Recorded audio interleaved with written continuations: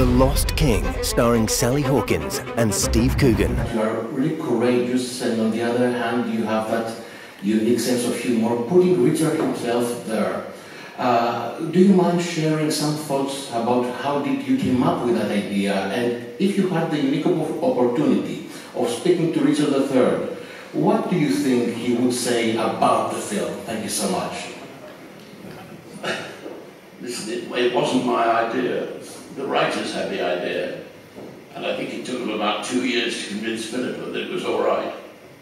So, don't look at me, I'm, I'm just a film director. Um, what would Richard say?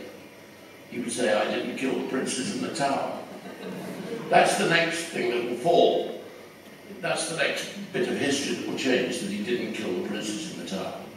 The truth is, the real usurper was Henry VII, who was, of course, the father of Henry VIII, and changed the history of Britain. So it, it, somewhere in there is, is, it is very, very interesting. But that's for historians, not for ordinary people.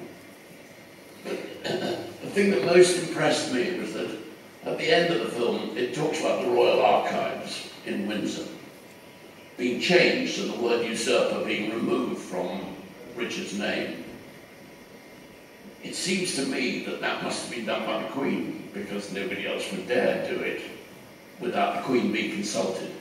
So the Queen agreed to that. I think that's, I think that's an incredible achievement. To, come, to get the Queen to change her mind is already a monumental decision. So um, I think he'd say thank you. Well, I hope he'd say thank you.